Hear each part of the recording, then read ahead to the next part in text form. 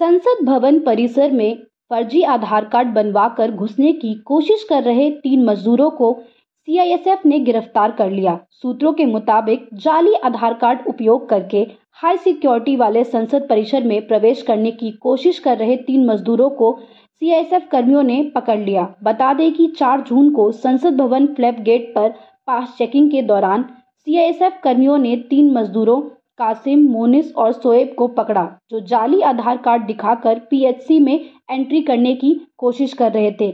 जाँच में पता चला कि उन्हें डीबी प्रोजेक्ट्स लिमिटेड द्वारा काम पर रखा गया था और वे आईजी सात और एमपी के लॉन्च के निर्माण में लगे हुए थे।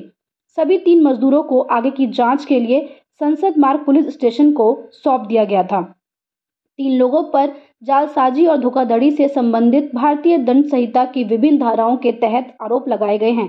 तीनों अपने आधार कार्ड दिखाकर संसद परिसर में प्रवेश करने की कोशिश कर रहे थे और इसी दौरान सीआईएसएफ कर्मियों को उनके कार्ड संदिग्ध लगे। इसके बाद जब आधार कार्ड की जाँच की गई तो वह फर्जी निकले।